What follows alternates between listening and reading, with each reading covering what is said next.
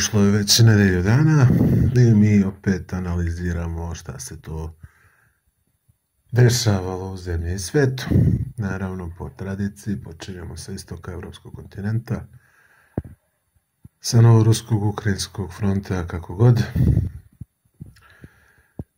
U Rusiji je, ajde počnemo od toga, ako hronološki bilo poslednje, u Ruskoj federaciji je pozvano 300.000 rezervista da se čije pridruže vojnim naporima, dakle njihova uloga će biti da da mene profesionalne jedinice vojske koje će otići na front, pošto regruti i rezervisti za ne učestvuju u borbenim operacijama.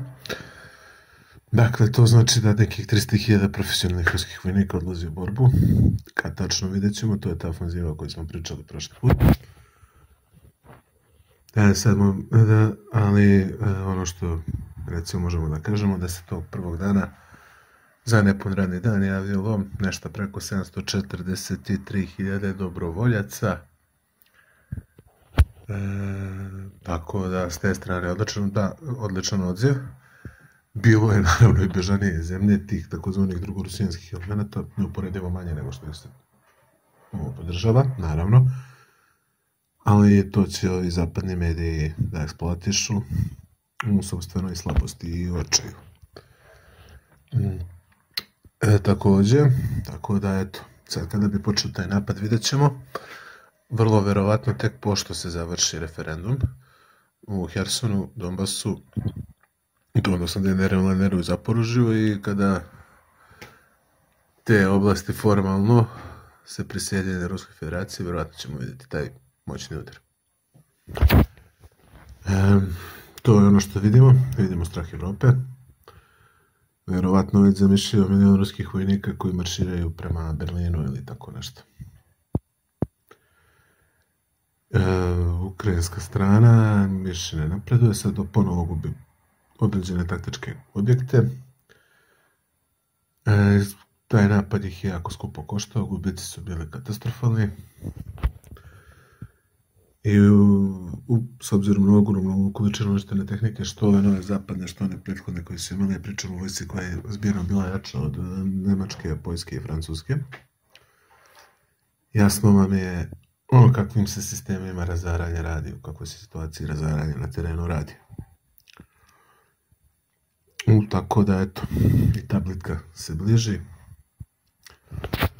Vidjet ćemo, vidjet ćemo, znači, da kažem, logičnije bi bilo da se desi e, dakle posle referenduma koriste se tu 95-ice prvi put sa najrazornijim FAB 500 bombama, znači najrazornije avijanske bombe na svetu, to su teški strateški bombarderi koji bukvalno ravnaju prostor. A što se tiče, vidjet ćemo da li će biti upotrebljeni da se ubrza proboj na Donbasu. E, dignute su u vazduhu skladišta nafte, rasturena je železnica, gađaju se vozovi, odnosno lokomotive, preciznije da budemo. E, probijena je jedna brana kod Harkova, e, tako da vrši se, još ranije smo, mislim, prošli put smo analizirali da su izbacili delove elektrosistema iz stroja, iz prostog razloga da i one moguće ukrenu da izvoze Evropi. E sad, Evropa je u problemu s te strane, jer pazite, to sad više neće, znači to će sad biti vojni napor sa 450 do 500 hiljada profesionalnih ruskih vojnika i svi ti formirani dobrovoljački korpusi i bataljoni odrvo se iz Ukrajine. Podržani sa tehnikom koja je više struko nadmoćnija i jača. I prvi put će vratno masovnije biti upotrebljena razna nova vrsta naoružanja jasno je zaprećeno zapadu s te strane, jer sad ono što isto simptomatično da je Kinezi neke ratne pripreme. Da li bi to možda hipotetički moglo da znači da će istog dana kad se ruske snage pokrenu za ovu ofanzivu, koja će biti, to sad, verovatno pitanje samo vremena i dana, e, kad bi oni krenuli na Tajvan, to bi bilo totalno totalno ni knockout. E sad, Vidimo da su Amerikanci ublažili retoriku, ali Evropljani su karikature. Mislim, to, to sad kad vidimo ko vlada tim zemljama Evropske unije, nekako nam bude lakše ko vlada našim zemljama. Donekle. Um, tako da vidjet ćemo, bit će to vrlo žestoko, bit će to vrlo krvavo. I da ne bismo nagađali, da ispratimo kako će proći taj referendum i da li će do našeg sledećeg razgovora doći do pokreta i do ruskih vojnih udara žestokih razmjera. Um, tako da umeđu vremenu smo saznali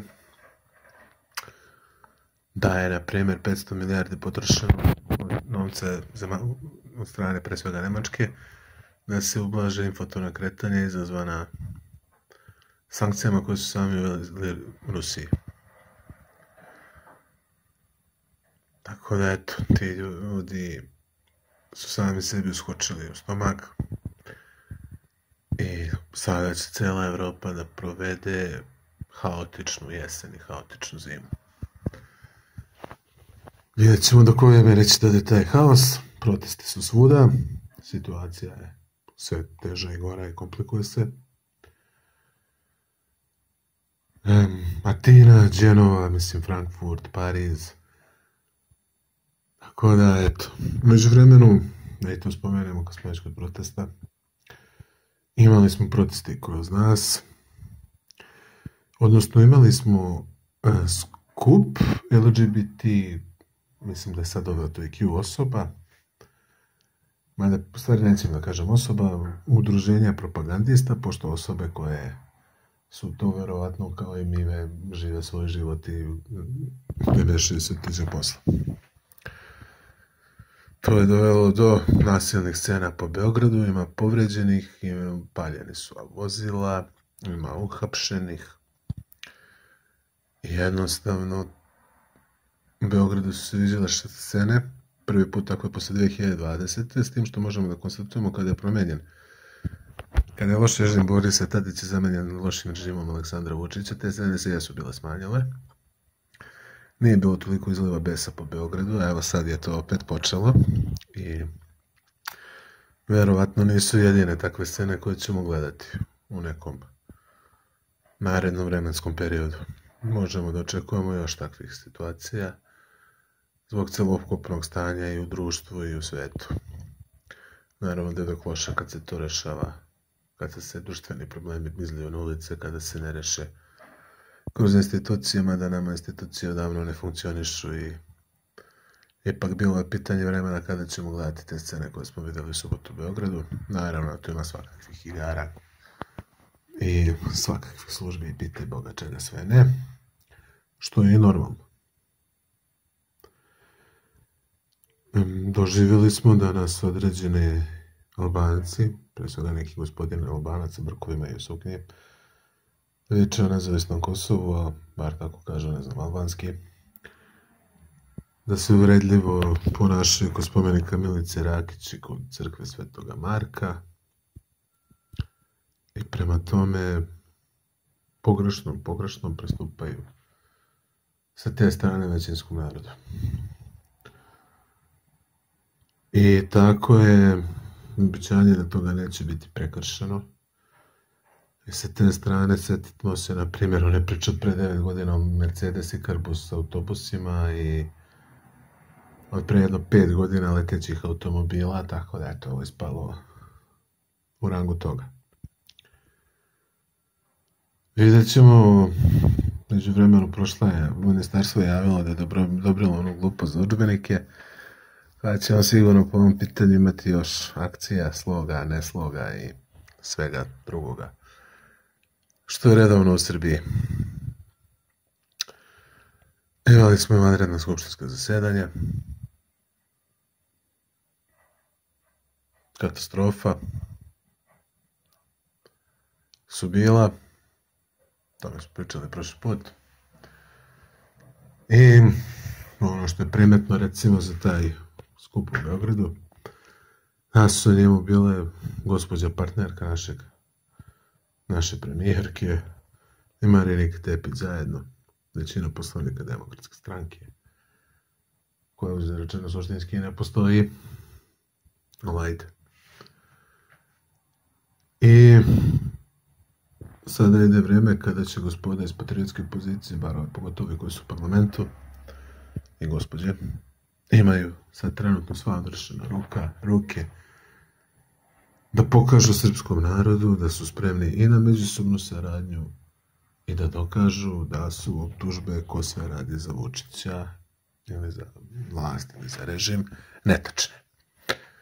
Pa, pošto je dokazano da vi nisu nikakve alternative opozicije, eto, gospodo, gospođe iz patriotskih opcija u parlamentu, imate opciju da dokažete da ste drugačiji, da ne radite za vlast i da pokušate ostvariti ozbiljnije rezultate i dobijete ozbiljniju podršku.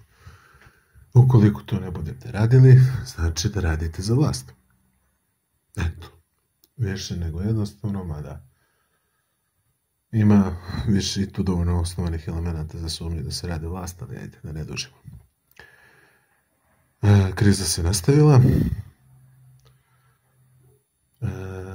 Americi su ponovo dignute referentne stope za koju dan će biti u Europskoj uniji, samim tim bit će dignute i u Srbiji. Nemojmo sumnjati ni najmanje.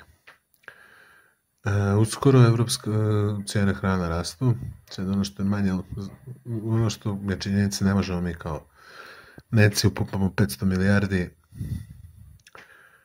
um, 500 milijardi da to suzbijemo, ne možemo 5, a ne 500.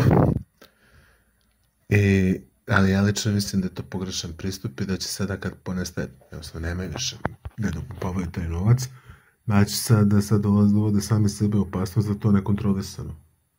Ovdje sve dođemo. A ipak, mi hvala Bogu nismo deo Europske unije, ali smo deo Europskog kontinenta i ekonomski smo uvezani.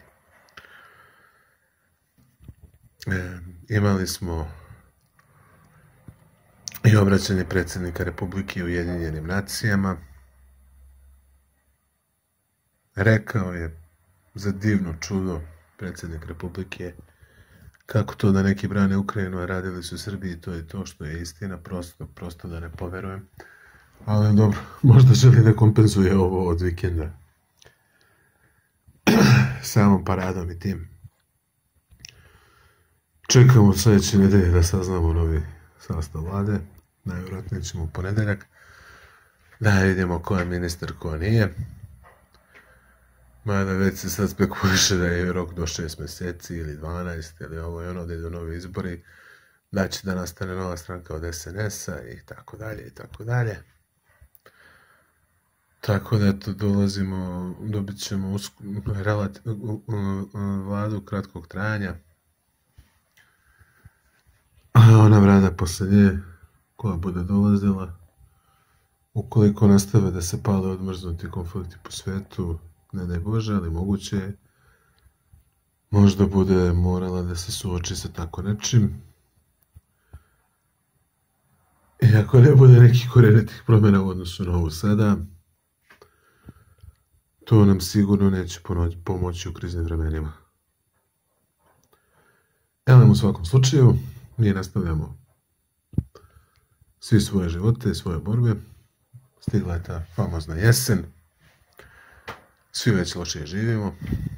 I nemojte da brinete, za mjesec dana ćemo živjeti lošije nego sada.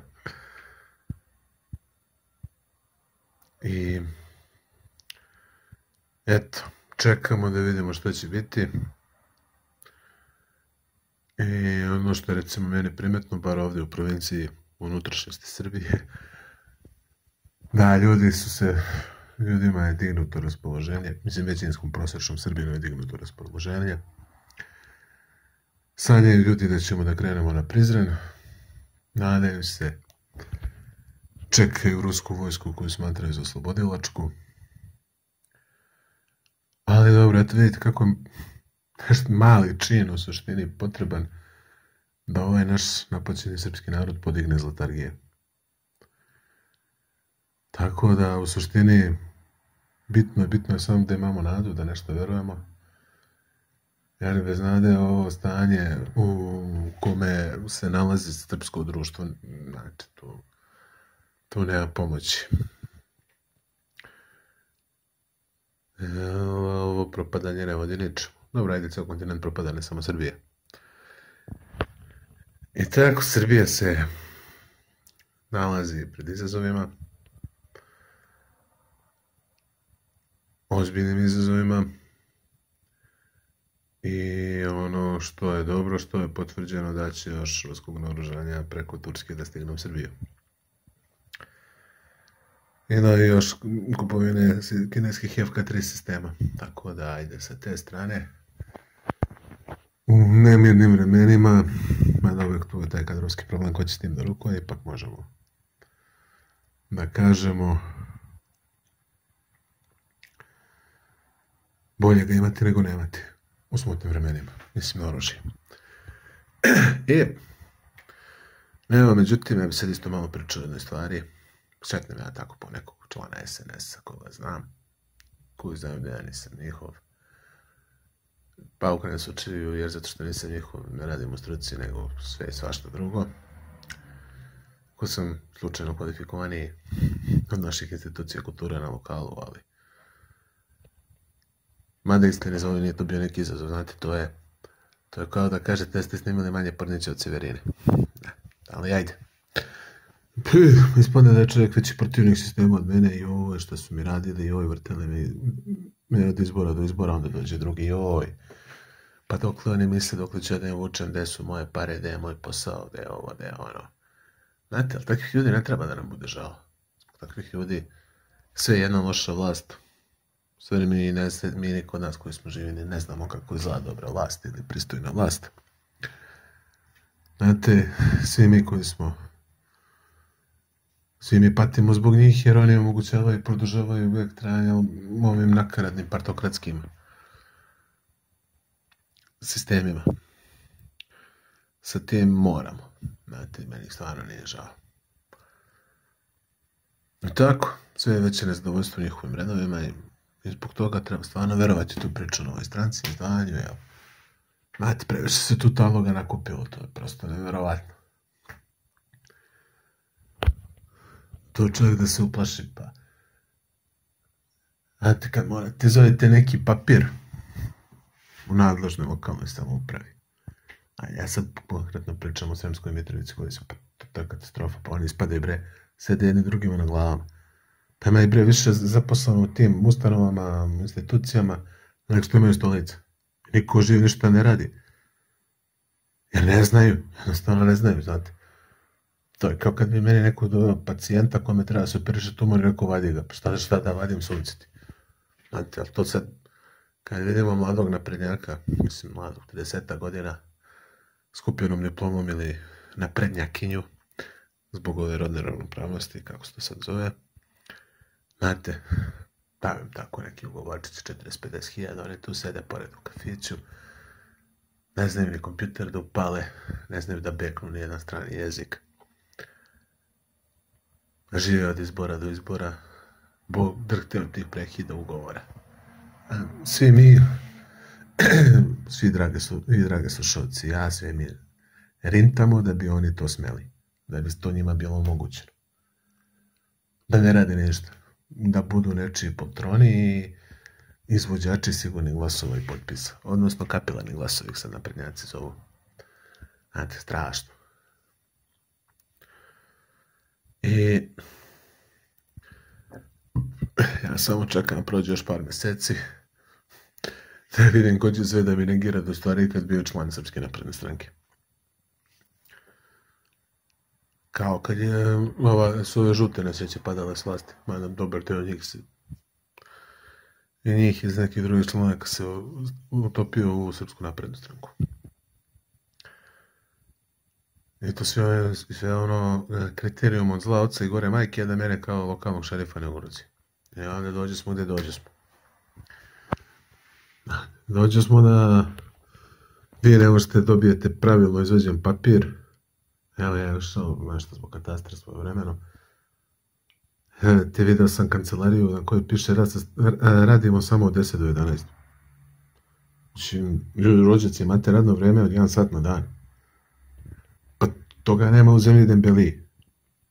Mislim, katastrofično nešto. Dobro, dobro, mislim, s ovim skokom cena skočili su i ti paketi što će se dele glasačima.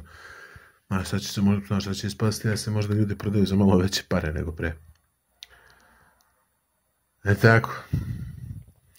Sad kad su svoje nova vlada posle ovih izbora njima tim nesrećnim suženim robovima SNS je bilo čekajte dok formiramo vladu, sad će biti je čekaj tek je formirana, treba jedno sto dana da radi.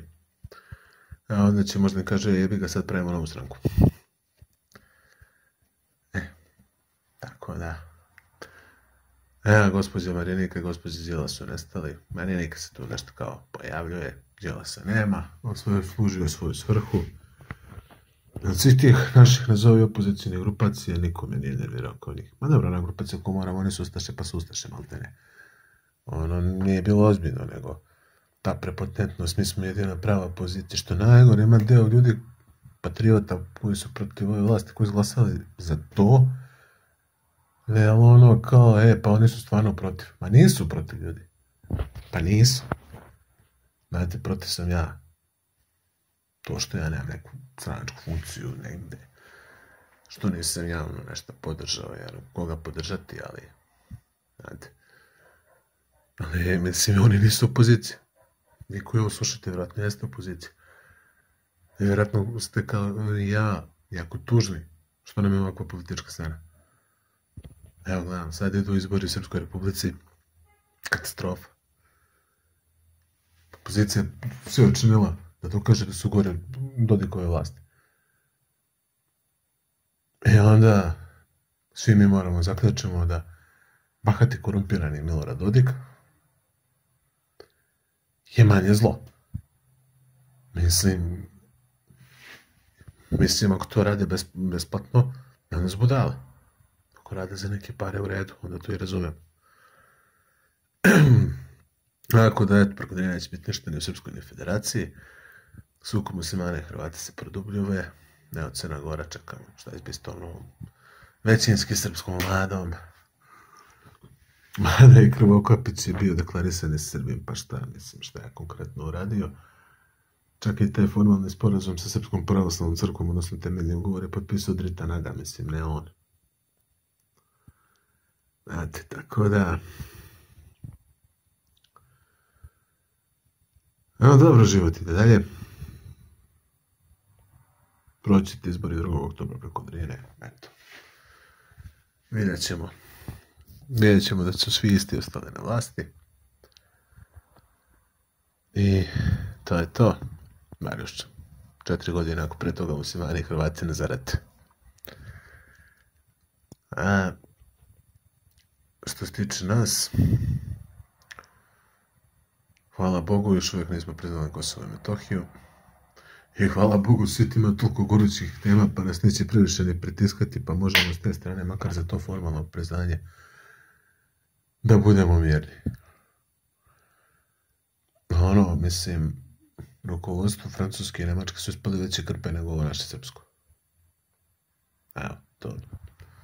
To je isto jedna tema našim građanima za razmišljanje da prihvate da su Francuska i Nemačka kolonije možda čak i veće nego Srbija. Mada jeste ne za volju ekonomski sređeniji i funkcionalniji. Mada kakvo vreme ide, ne, nešto mi se čini da ekonomska sređenost i funkcionalnost će biti stvari koje ćemo privremeno da zaboravimo, bar na evropskom tlu. E, proteste ima i u Iranu, kurdi protestuju i nemoguće da tu nema utjecaja sa strane. Tako da, kurdi njih 40 miliona na uvezanom prostoru nema državu, najviše toga u Turskoj više od polovine, mada de, de facto je imaju, ako ne de jure na severu Iraka, i nemoguće je da Kurdi dobiju sve svoje teritorije u Siriji, Iraku, Iranu i u Turskoj, ali je nemoguće da nigde ne dobiju državu. Baš nikakvo. To je ne, neprirodno. Znate, ajde kad je 80.000 Laponovca kad nema država, znate, to je čet, preko 40 miliona kurda. Dobro, preko 40 sa dijasporom. Jermeni i Azerbejdžan su smirili borbe. U suštini izginu šilide s obe strane da bi se linija eventualno na jednu mjestu pomerila dva metra. Berlinski narod je sprečio predsjednika vlade da kapitulira, a vidjet ćemo dalje politički razvoj situacije na Kaukazu. Buknuo je bio sukob Kirgistana i Tadžikistana i ponovo se pobiši opet ostaše na istom i već treći put. I nije nastavljen rat, privremeno izostavljen u smislu statusa quo. Um, imali smo mnogo nesreće u svetu, tajfun je u Japanu, zemljotresi su pogađali Tajvan i Meksiko, bilo je još i tsunamija i svega, poplava je bilo kako je, tako da je sa strane prirode, a možemo reći možda i sa strane Boga, sve ide neki takav sled događaja koji vodi ka haosu. E, u svakom slučaju, um, vidjet ćemo šta znači šta će biti dalje na tom dalekom istoku od Kinezi i dalje. Eto. Znači sve od one posjete Nancy Pelosi, oni izvode vojne aktivnosti kod Tajvana, bez da napadaju Tajvan, odnosno Republiku Kinu. E, Pakistan e, i Indija se prvi put nalaze na istoj strani protiv SAD-a. Pomalo sumanuto, ali ajde, mada i Grčka i Turska su na to svakog trenutka mogu da zarate kako, kako, kako prikazuju stvari, mada istine za ovo ima tu možda malo grčkog jer ne žele da isporuče oružje Ukrajine da se ne bi previše zamerili Ruskoj federaciji. I sve u svemu, šta da vam kažem, ljudi, ček, mi smo sad tu, čekamo nova poskupljenja, čekamo nove proteste u zemlji svetu, čekamo da izbije još poneki rat, čekamo rusku ofanzivu, čekamo čekam, dočekali smo tešku jesen, a sada ide i teška zima. Toliko od mene ovog puta, pa mi se čujemo za nekih nedelju dana.